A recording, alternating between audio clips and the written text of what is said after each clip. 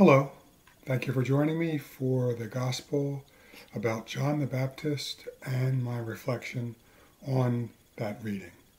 This is for August 29th in the Catholic Lectionary. The Gospel according to St. Mark. Herod was the one who had John the Baptist arrested and bound in prison on account of Herodias, the wife of his brother Philip, whom he had married.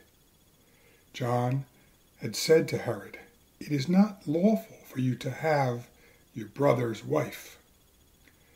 Herodias wanted him killed, but was unable to do so. Herod feared John, knowing him to be a righteous and holy man, and kept him in custody.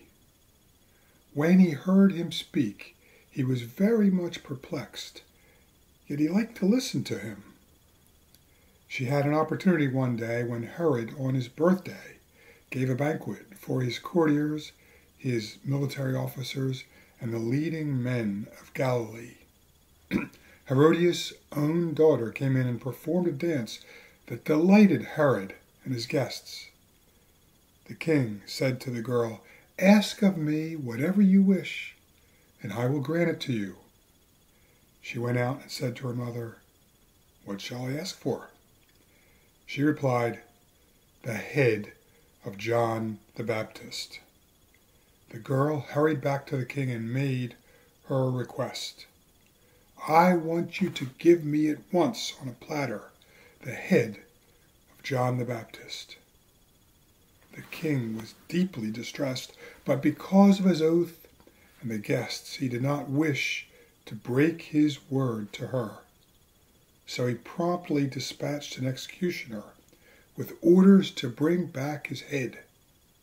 He went off and beheaded him in the prison.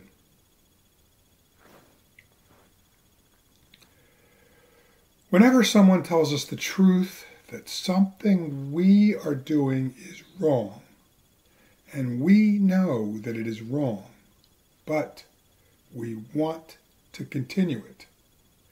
We want that person to shut up about it. That is the position Herodias was in. She knew that it was wrong that she left her husband, Herod's brother Philip, and married Herod.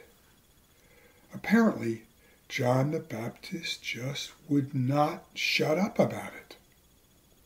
To shut him up permanently, she tricked Herod into having him killed. Mark's gospel says that Herod liked listening to John the Baptist, even though it appears that he spoke the truth to Herod about his sins. John's main message in preaching was to repent for the forgiveness of your sins.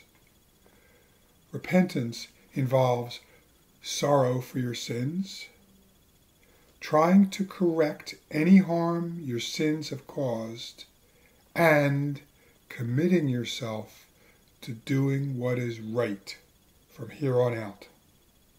For Herod, part of his repentance would require him to give up Herodias as his wife, since by Jewish law, and Herod was part Jewish, she was still married to his brother. If Herod did that, he would still be king and have his kingdom, but Herodias would lose all her power and money. So you see why she wanted him killed. Generally, we all know the truth about what is right and wrong, and most of the time, we know what the truth requires us to do. For instance, we all know that human life begins at conception, and that this truth requires us to protect and nurture that life. Like Herodias, we sometimes try to find ways to avoid repentance because we want to continue doing what we know is wrong. Even Herod, as wicked as he was, accepted the truth that John the Baptist was righteous and holy. We can either choose to follow the example of John the Baptist or Herodias.